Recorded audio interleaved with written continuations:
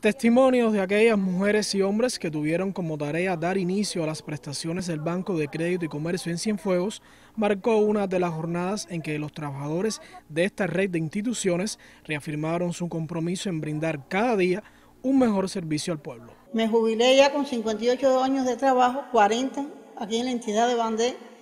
Soy fundadora de, de estos 25 años y me siento muy orgullosa de haberme permanecido durante mis 40 años en el mismo Departamento de Recursos Humanos. Cuando me jubilé me desempeñaba en el Departamento de Contabilidad con la plaza de contador.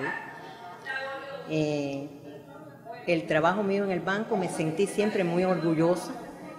Eh, era mi vida, era mi segunda casa aprendí mucho y me quedaron muchas cosas por aprender. Laboré el Banco Nacional de Cuba primero, eh, después se convirtió, se fraccionó, bueno, apareció el Bandé, entonces estuve en Bandé hasta hace poco, en total 46 años de trabajo en la actividad bancaria. Cuando ya suman 25 años de Bandet, muchos son los desafíos para los profesionales del sector, donde la búsqueda de soluciones ante los complejos momentos por los que transita el país decide a favor de la gestión económica.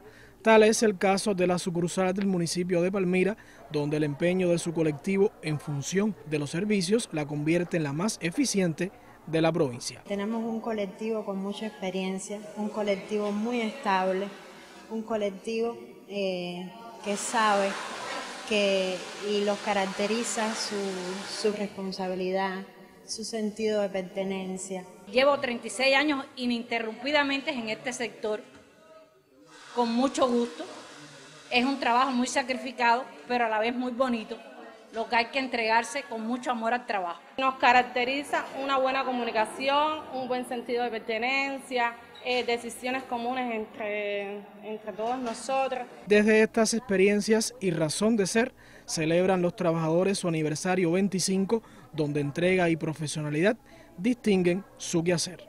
Yuniel González Hernández, Notisur.